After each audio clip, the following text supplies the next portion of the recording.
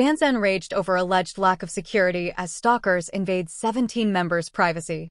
Heartbreaking interaction between 17's Jun and Sasaengs triggers uproar.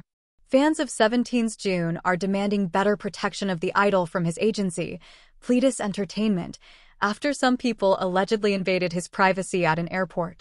The Chinese member of the K-pop boy group has been traveling overseas due to his busy schedule. On September 18th, Jun's pictures from the seating area went viral on social media. The pictures were seemingly taken by people who followed him at the airport. A picture also showed a group of alleged stalkers standing in front of Jun. Netizens later found an X account sharing images of the singer at the airport and expressed their disappointment in Pledis Entertainment for their alleged lack of security. This incident has deeply concerned 17 fans. They urged his agency to tighten security around Jun when he is traveling and trended phrases like hashtag Pledis underscore protect underscore Jun on X. Other netizens also shared similar sentiments on Jun's security. Jun is not anybody. He is a part of 17.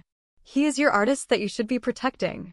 This is so fucking disgusting. Do you know that because you are following him you did not know the boundaries, huh?